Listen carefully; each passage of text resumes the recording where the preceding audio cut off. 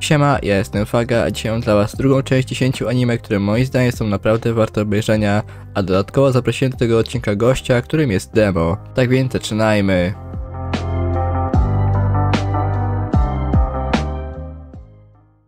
Kazegatsu Yoku Fuiteiru, anime opowiadające historię drużyny biegaczy składającej się praktycznie z samych amatorów.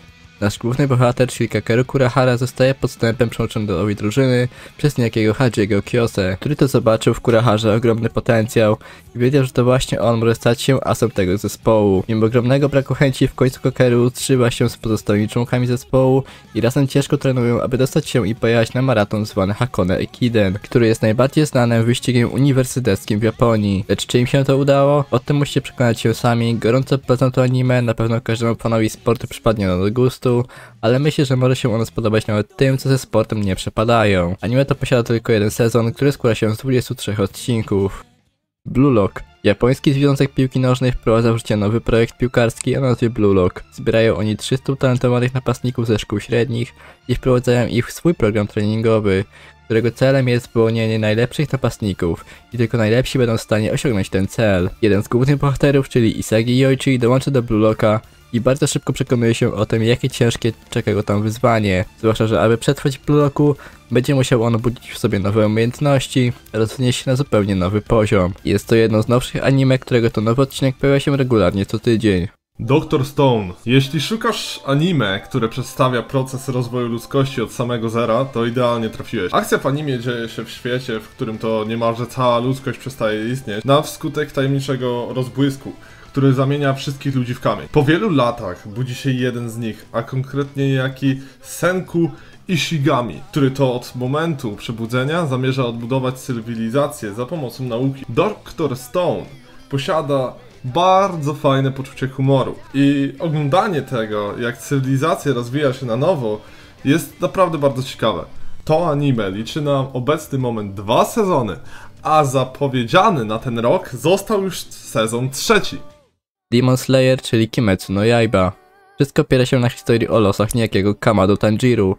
Zamieszkuje on w górach wraz ze swoją matką oraz rodzeństwem, lecz pewnego dnia po powrocie do domu zostaje tam straszny widok, a mianowicie swoją martwą rodzinę, która została zaatakowana przez demona, a ocalała jedynie jego siostra, która została przemieniona w demona, jednakże zachowała przy tym swoje człowieczeństwo, przez co nie krzywdzi innych osób. Po tym wszystkim nasz główny bohater wyrusza w świat, aby zostać prawdziwym łowcą demonów oraz aby znaleźć sposób na odmienienie swojej siostry z powrotem w normalnego człowieka. Anime to posiada jak na razie dwa sezony, które łącznie posiadają 44 odcinki, ale zapowiedziany nam został już trzeci sezon, który jest przewidywany na okolice kwietnia tego roku. Angel Beats Akcja zaczyna się, gdy to główny bohater, czyli oto nasz Yuzuru, budzi się nie mając kompletnie pojęcia o tym, co się właśnie stało i gdzie się obecnie znajduje. A jeszcze bardziej zdziwiony jest tym, co widzi chwilę po przebudzeniu się, a mianowicie widzi on dziewczynę z bronią snajperską, która to informuje o tym, że właśnie umarł i znajduje się on w świecie, do którego trafiają osoby po swojej śmierci. I w tym świecie jest pewna grupa, która próbuje postawić się pewnemu systemowi oraz aniołowi. Anime to jest znane z tego, iż jest ono uważane za jedno z lepszych wyciskaczy łez i muszę przyznać, że coś w tym jest, bo w momencie, gdy sam oglądałem to anime, naprawdę przy samym końcu aż sam się wzruszyłem. Tylko szkoda, że te anime posiada tylko jeden sezon, liczący 13 odcinków oraz kilka odcinków specjalnych. Jutsu Kaisen.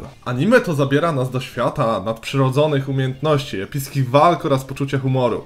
Lecz nie brakuje tutaj także dramatu oraz mlicznego klimatu. Nasz główny bohater, Itadori Yui, posiada niezwykłe umiejętności atletyczne, a pewnego dnia połyka on pewien przeklęty palec demona, który sprawia, że od tamtego momentu będzie musiał on zwalczać niebezpieczne klątwy, stawiając na szali swoje życie. Attack on Titan, Shingeki no Kyojin.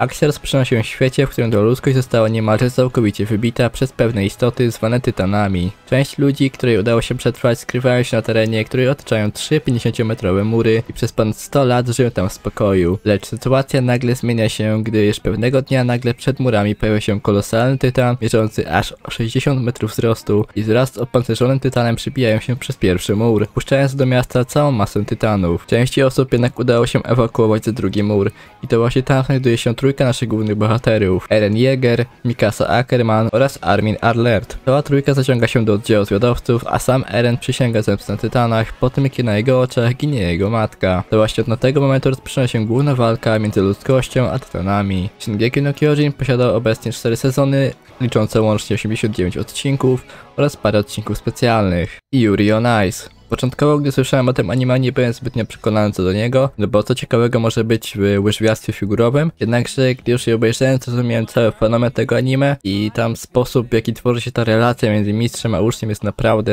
wspaniała i piękna i jest tam naprawdę wiele wspaniałych momentów, w których można się naprawdę wzruszyć. Jeszcze dodatkowo cała oprawa muzyczna jest też wspaniała, ale niestety ten, to anime posiada tylko i wyłącznie jeden sezon, ale jest warty obejrzenia. One Punch Man. Seria opowiada o tytułowym mężczyźnie, który pokona każdego swojego oponenta jednym ciosem.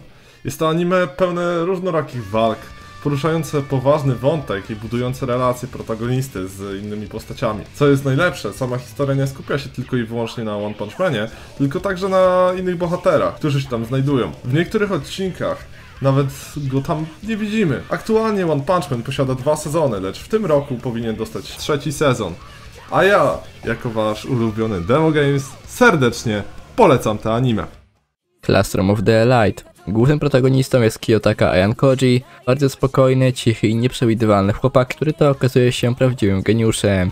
Trafia on do bardzo prestiżowej szkoły, którą to jednak rządzi dyktatura, a także silna rywalizacja, która zmusza uczniów do tego, aby skupiali się tylko i wyłącznie na sobie. Nasz bohater trafia do klasy D, która jest najniższą w całej szkole. I stawia sobie jednak za cel, aby doprowadzić tę klasę na sam szczyt. Jednakże czy mu się to uda, musicie przekonać się o tym sami. Gorąco polecam to anime, tutaj możemy zobaczyć naprawdę wiele wspaniałych pojedynków na IQ i w ogóle. To jak ktoś próbuje kogoś przechytrzyć, to jest naprawdę wspaniałe do oglądania i bardzo przyjemne i nasz główny bohater potrafi naprawdę niejednokrotnie nas zaskoczyć. Last Room of the Elite na obecną chwilę liczy dwa sezony, ale możemy się na pewno spodziewać trzeciego sezonu. I tym oto akcentem zamykam swoją dzisiejszą listę 10 anime, które moim zdaniem naprawdę warto obejrzeć. A ty?